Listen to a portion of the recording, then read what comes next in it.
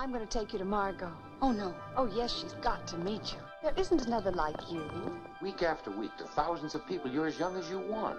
As young as they want, you mean? I'm not 20ish. I'm not 30ish. Three months ago, I was 40 years old. 40. Four oh. Got to see her. She worships you. It's like something out of a book. You're her whole life. Have you really seen every performance? I'd like anything Miss Channing played. Would you really? How sweet. Stick around. We'll go somewhere and talk.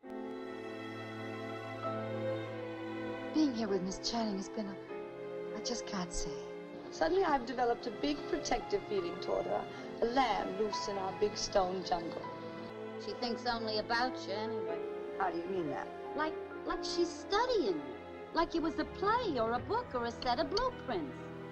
But Eve, Margo, let me tell you about Eve. She's got everything. A born actress. Young, exciting, vibrant. Don't run out of adjectives, dear.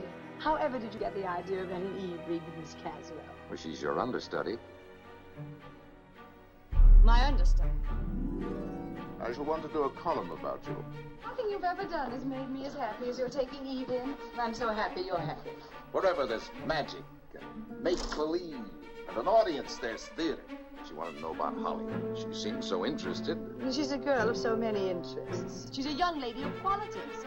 Studying me as if I were a blueprint, how I walk, talk, think, act, sleep. We're a breed apart from the rest of humanity. We are the original displaced personalities. To be a good actor or actress or anything else in the theater means wanting to be that more than anything in the world. How can such a woman fool so many? How does any Eve do it?